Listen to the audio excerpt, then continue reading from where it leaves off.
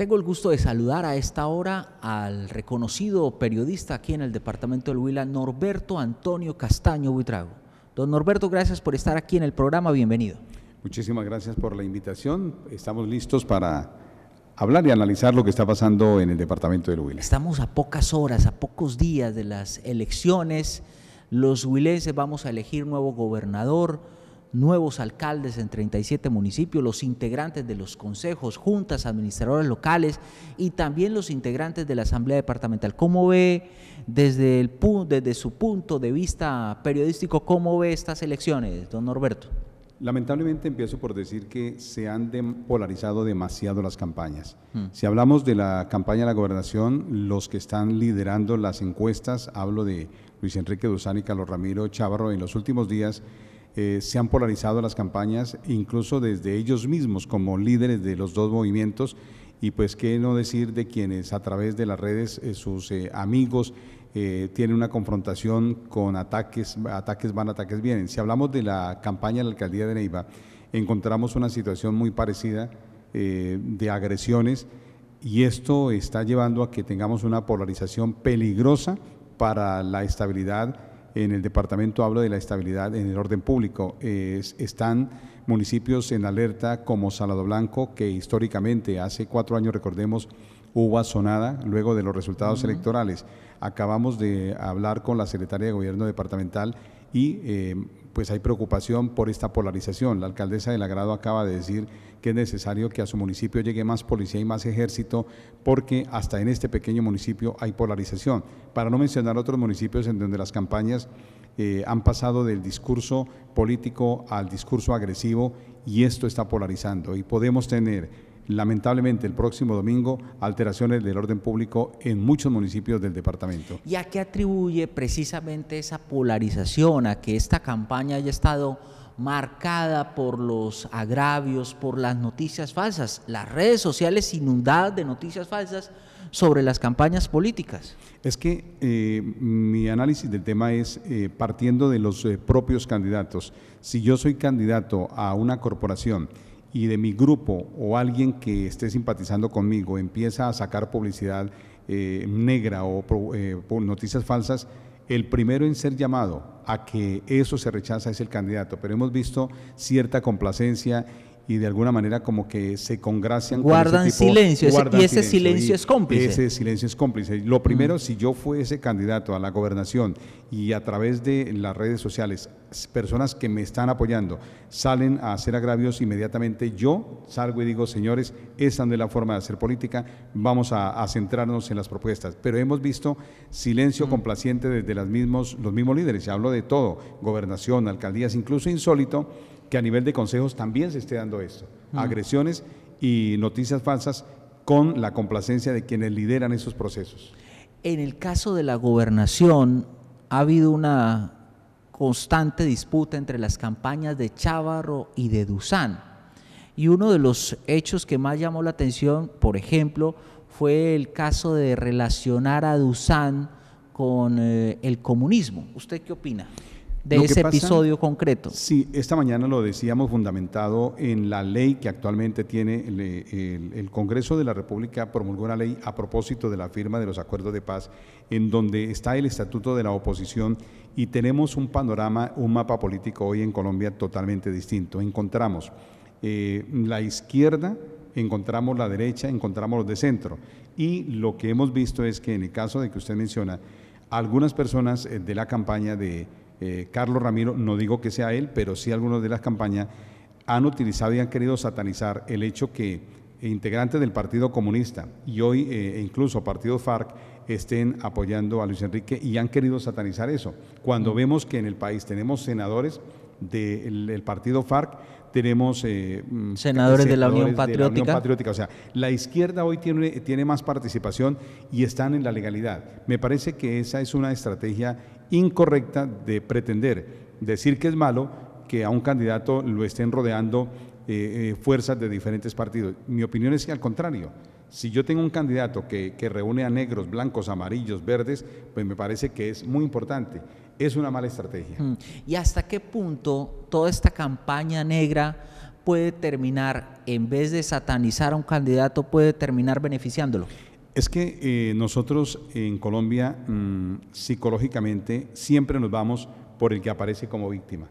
Si hay alguien que está caído, eh, y hemos visto en las redes sociales, eh, cuando han, la comunidad ha copado a un delincuente y está el delincuente reducido y lo están cascando, sale gente a defender al delincuente. No estoy diciendo que hay que aplicar la justicia con mano propia, pero sí cuando está el delincuente que lo capturan en flagrancia, inmediatamente aparecen defensores.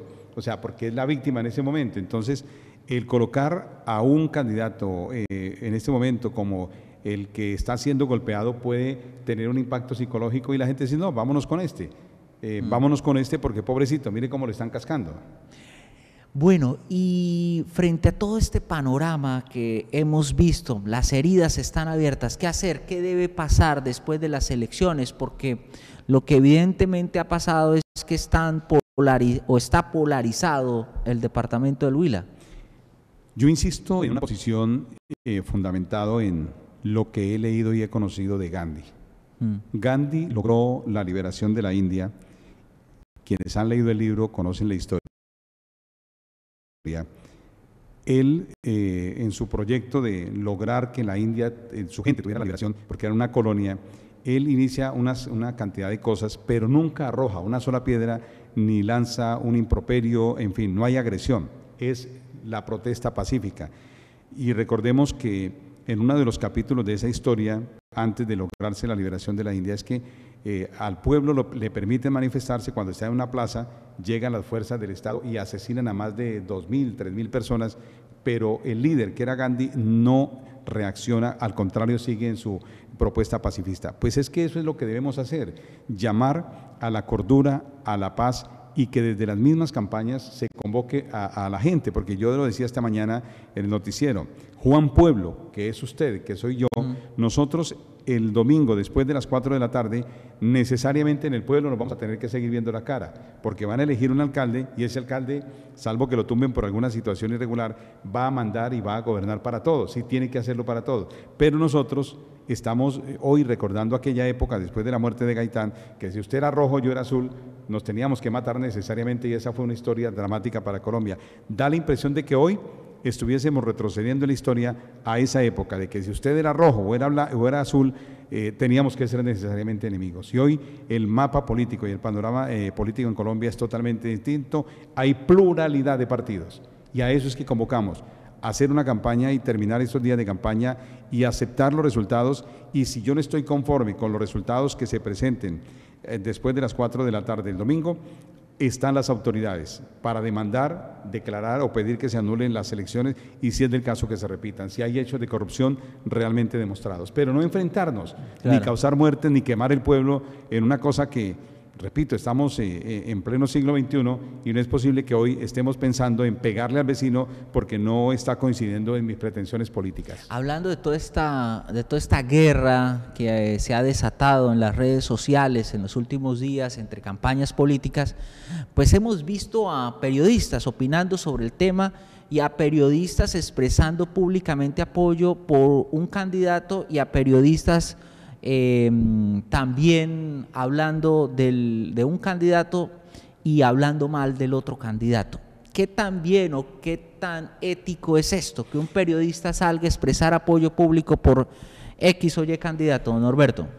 Hay una situación y es que... Y se lo eh, pregunto con toda la experiencia que usted tiene, un reconocido periodista de más de 30 años de experiencia. Si usted me pregunta hoy que cuál es mi candidato a la gobernación, no le puedo responder. Primero, porque el voto es secreto y segundo, porque tengo una representatividad comunitaria. Yo no puedo, en mi opinión, direccionar a nadie a favor o en contra de nadie. Eso es lo primero. Lo que ocurre aquí es que como eh, muchos de nosotros los periodistas somos concesionarios y tenemos pautas eh, oficiales o pautas particulares o pautas políticas.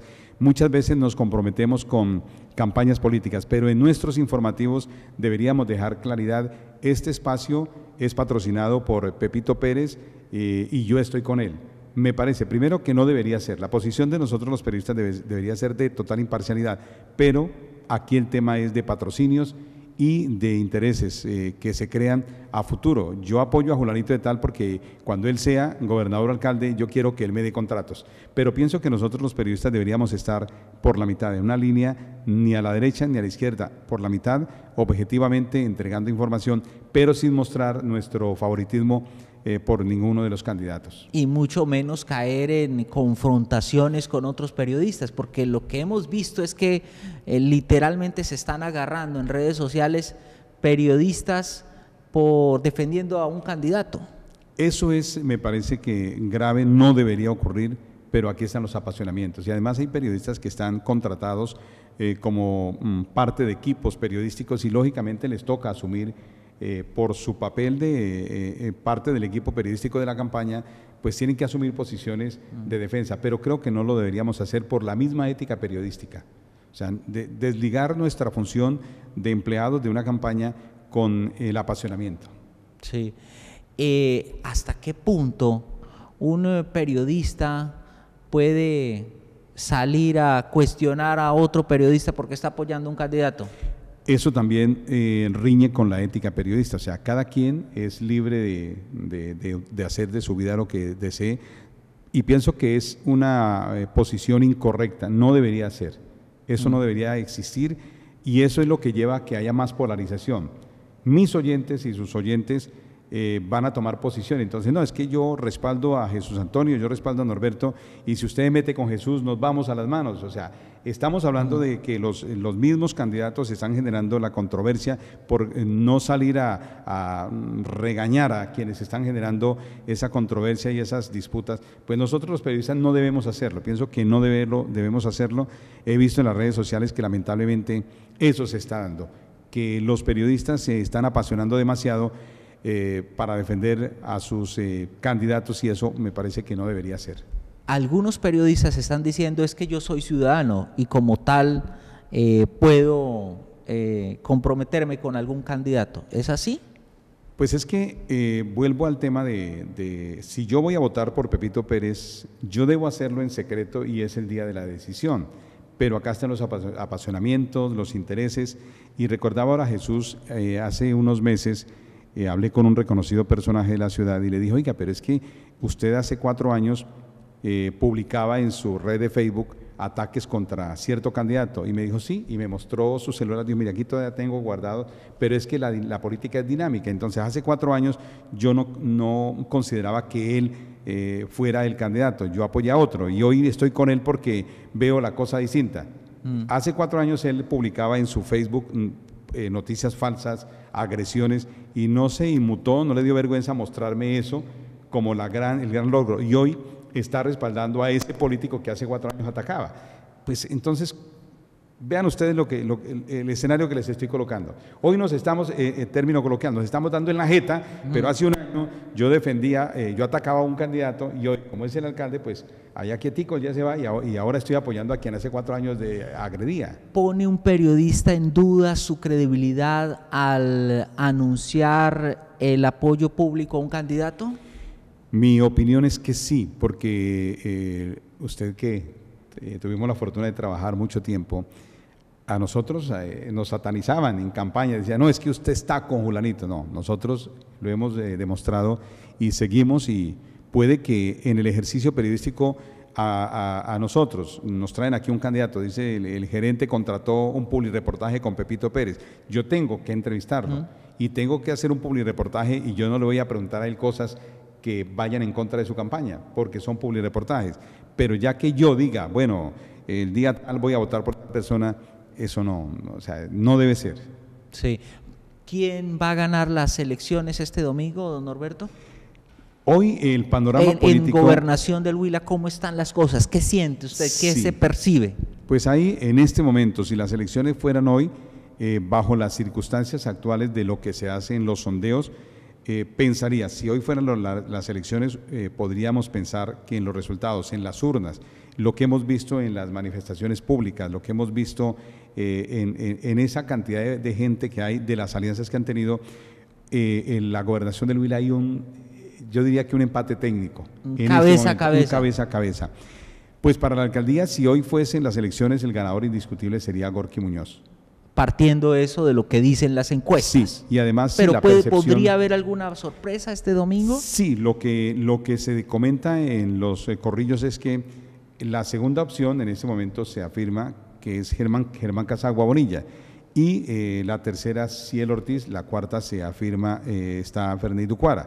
Y lo que se ha venido rumorando es que podría haber una sorpresa en cuanto a unas alianzas que tendría que cocinarse ya para unirse a Germán Casagua para hacerle un poco de contrapeso a el doctor Gorky. Pero si hoy fueran las elecciones, indiscutiblemente el alcalde eh, sería Gorky Muñoz. Claro.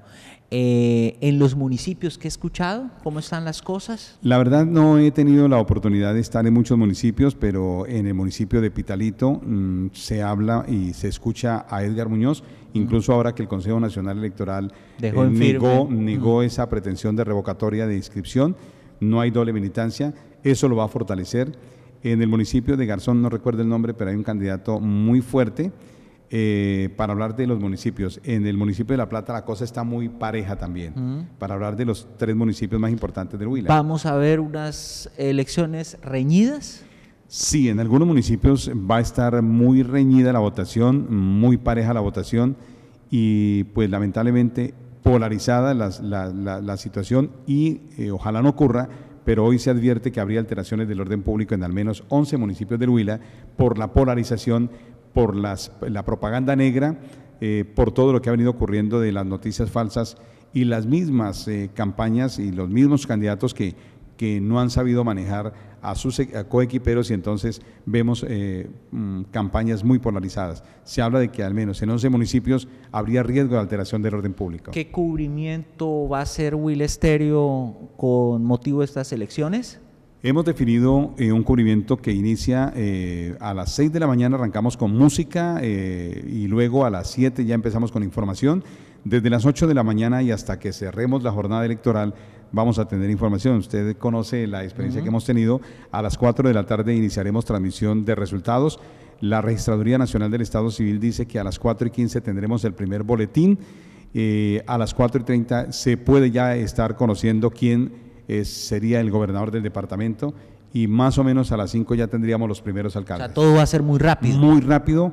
Ese es el compromiso que tiene la registraduría y nosotros allí en Will Estéreo pues vamos a tener toda la información desde todos los municipios y bueno, con la experiencia que hemos adquirido, Jesús, usted trabajamos muchos años en procesos electorales, usted sabe que tenemos truquitos para tener siempre de primera mano los resultados electorales. Norberto Antonio Castaño Buitrago, reconocido periodista, mil gracias, muy amable. El mensaje, Jesús, muchas gracias por invitarme y el mensaje es, miren, eh, por favor, quienes hemos conocido la historia, porque es que hoy mucha gente no conoce la historia. Después de la muerte de Jorge Eliezer Gaitán, hubo una época dramática en donde si usted era rojo, liberal, y vivía en, algún sector donde viviese conservadores, hasta los sacerdotes decían matar liberales es, es, normal. Y, mm. si había el sacerdote era liberal, decía matar conservadores. En eso llegamos eh, eh, a vivir en Colombia. Por favor, eso hace parte de la historia, no lo podemos repetir. Que el domingo gane la democracia, ganen los que deben eh, ser y tener la responsabilidad de dirigir, que haya total transparencia y que gane la paz. Queremos que el domingo la gran ganadora sea la paz y la democracia. Mil gracias, muy amable. Con mucho gusto y ya saben, aquí estamos siempre con ustedes, que son lo mejor que tenemos en eh, televisión. Muchas gracias. Éxitos. Muchas gracias, don Norberto.